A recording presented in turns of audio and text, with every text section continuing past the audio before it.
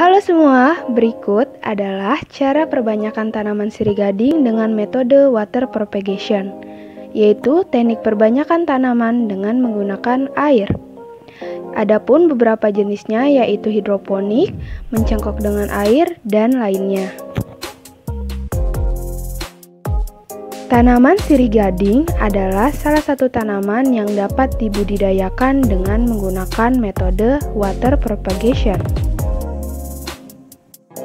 Adapun alat dan bahan yang digunakan yaitu gunting, gelas, air, dan tanaman sirih gading.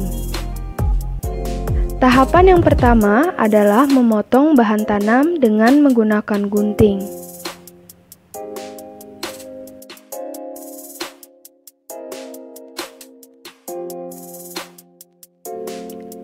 Kemudian, tahapan yang kedua adalah memasukkan bahan tanam ke dalam gelas yang sudah berisi dengan air. Tahapan yang terakhir adalah meletakkan tanaman sirih gading pada tempat yang terkena cahaya matahari untuk mempermudah proses fotosintesis.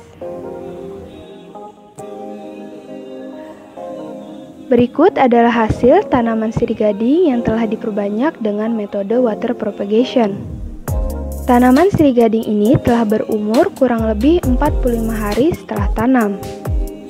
Dapat kita lihat bahwa tanaman sirih gading ini akarnya memanjang dan juga daunnya bertambah banyak.